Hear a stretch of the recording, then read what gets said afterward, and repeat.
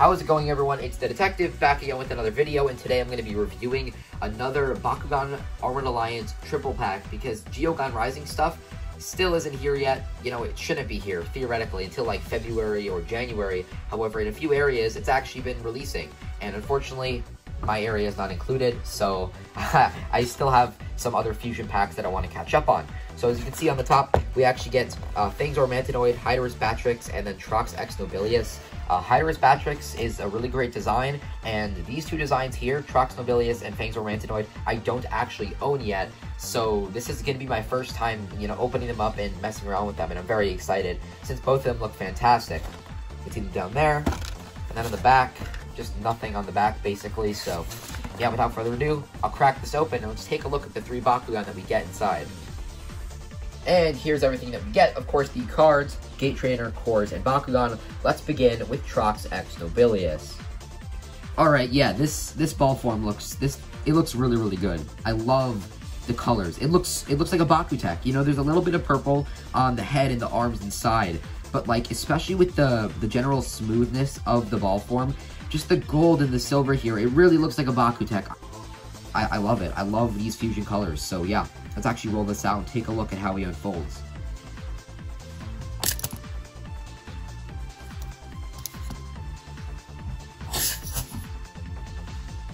And here he is. And you know the the popping open wasn't the most impressive because he didn't fully flip over.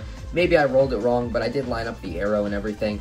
But like this design is really really cool. You know i know a lot of people were hating on this and like like this is so much better than anything that we would have gotten in Legacy. If this was if if Trox was in Legacy, if we had a dinosaur Bakugan in Legacy, it, it wouldn't have looked it would not have looked this good. Like this, it's really, really so impressive. I know he's got these big legs, but I just I just like to kind of imagine that this is part of his body, and then the only section that are his actual legs are just the feet right here. And uh, you know, these kind of fold in and they push up. The arms, I actually thought were separate, but when I actually took them out of the package, I realized that they're just molded onto this whole entire kind of head section. So the way that it works, it's really quite cool. You fold this back, kind of reminds me of the Feral Gillator, and then these pieces just come in and then they line up perfectly like so. And that's really, really cool. I like that. Now, there is some purple, and I'll be honest, I'm not big on the purple. Despite being a Darkus Bakugan, you know, in the in the ball form, he's got so much gold and so much silver. And of course, those elements are retained you know, just on the wings and then on the, the legs or whatever.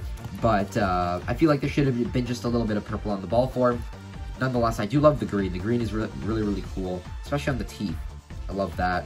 And honestly, the Trox fusions have both been really good. I think like last week, um, I reviewed, actually, I think it was exactly a week ago, like last Wednesday, I reviewed the Trox X, uh, Trox X Cyrus Core. And then here we have the Ultra uh, Trox X Nobilious, and it, it, frankly looks really, really cool. So let me actually pull out the card. Here it is. Uh, not the biggest fan of the art, but, you know, it's there. And this one already does not look too good, because it's double Green Fist and 206. Three to fuse, though. Will it redeem itself? Uh, yeah. I mean, it gets to 1450, but you gotta have three energy to fuse it. So, like, if, if basically you have to roll it turn three, or you have to be able to fuse it turn three and then just use up all three of your energy to make it even a little bit decent because 206 is just trash. Oh man, I really wanted this to be good, but oh well. The art does look very cool though. So next up we have Fangzor X Mantinoid, and this one is actually native with Aquos Ventus. However, I actually saw that one in a store local to me. Well, it's not it's not super local, but I saw it in a somewhat local store. But I decided not to pick it up because I honestly wasn't the biggest fan of how it looked. And, well, I got one here, and I haven't popped it open, but I'm already getting vibes of the original both Fangzor and Mantinoid. And that's really cool, you know, the core versions of Fangzor and Mantinoid. When you hold it like this, it looks a lot like Fangzor because you can kind of see the two halves, you know, top and bottom like Fangzor core. But then when you hold it like this, you can kind of see the little mantinoid, like, uh, what are those, like the pincers, the, uh, the arms? I don't even know my terminology that well, but I really love how this ball form, even in the ball form, it's reminiscent of both the core Fangzor and core Mantinoid ball forms. So, uh, yeah, let's pop this guy open. Oh, that is, dude, that looks so cool. Wow. That looks really far, like, that looks really much, much better than I expected. Honestly, wow, okay. When it comes to actually paying homage to the original Bakugan, you know, like, Trox X Nobilious here is a great design, but he doesn't really look like Trox Ultra in terms of the general proportions, and he doesn't really look like Nobilious Ultra either. Uh, in terms of general proportions. But with Fangzor Mantinoid, he looks like a perfect combination of the two Bakugan. Not to say that this is bad, you know, I love the unique ideas, but I really, I don't know who came up with this design, you know, on the Spin Master, like, design team, but it looks really good. Uh, I love how the head kind of looks like Mantinoid, but then the body itself is like Fangzor. You got the little things at the front here. Ooh, they fold back. That's really neat. And yeah, that, there's that. Let's actually take a look at the card here. Ooh, I love the art. Okay, Magic Shield, Shield, not bad. 600 to, oh, 6 Diffuse. That's some, oh, that, that art is really cool. I love how it kind of highlights the, uh, the bright green eyes on the head. I like how they uh, kept that on the card art. 1308, you know, like this one right here is basically like about as good as this. Because sure, you're paying 3 more energy, but it's base 1300. This one's only 1300 on a green fist. It has better cores, and sure, it's 6 diffuse, but 602 is better than 206. Uh, yeah. So anyway, let's move on to the next Bakugan, which is Hydorous X Batrix. Bam, here's Hydorous X Batrix. I actually took a look at the Aquos Darkus version of this guy, uh, like earlier last week as well, so be sure to check that video out. Uh, I'll have my Bakugan playlist linked down below. I, I, always link my Bakugan playlist, so be sure to check that out. But nonetheless, you guys know I already love this design. The color scheme looks pretty cool. Not too big on the orange. I feel like the orange and the gold kind of contrast a bit, but seeing gold with this Aquos color scheme is actually really dope. And bam, there it is. And ooh, I love the silver claws and the silver teeth. That looks really cool. Again, I'm not, I actually do not like the orange, but I feel like other than that, this looks, this looks super killer. I love the silver on the head as well. And again, you know, I've looked at this design before, but let's actually take a look at the card.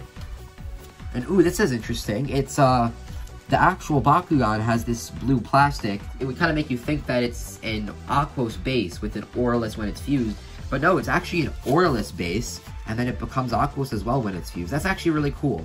But at the same time, it's also really weird. I do like the art, though. You can see kind of Batrix in the back there. 505, 10 to fuse, already not good. Oh, that, that's actually definitely the best art that I've seen compared to, uh, compared to these. This is the best art for sure. But it's uh, 2208, good cores, but 10 to fuse is just way too much. Alright, let's take a look at some of the other cards that we actually get in the set. Firstly, the Gate Trainer. We got Cyrus on there. I'm pretty sure I actually already own this Gate Trainer, which is kind of funny, but you can see that there. And then for the cards, let's see what they do. Ooh, Shields of Astroya. Okay. Meteor Storm for 3, plus 4 damage and draw 1.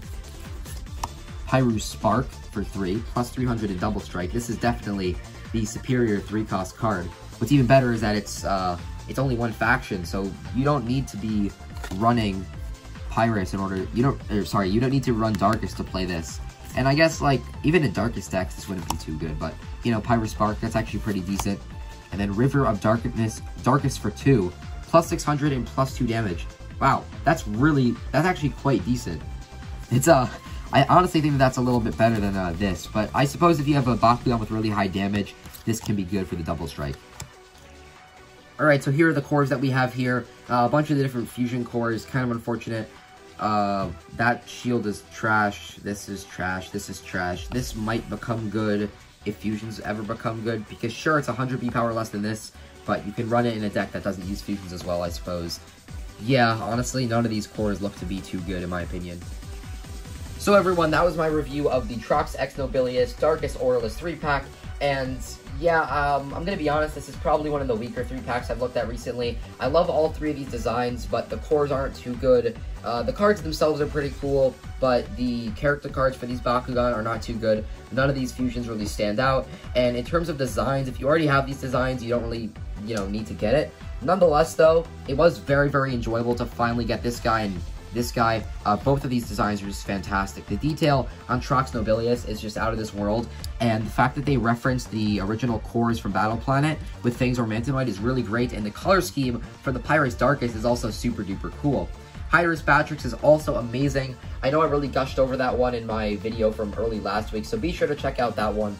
But, uh, yeah, in terms of three packs, I definitely have seen better ones. I personally think that the Feral Gillator pack He's a little bit better than this one, but nonetheless, I can still recommend this to anyone who loves these designs or these fusion color schemes because the colors on all three of these Bakugan are really quite fantastic.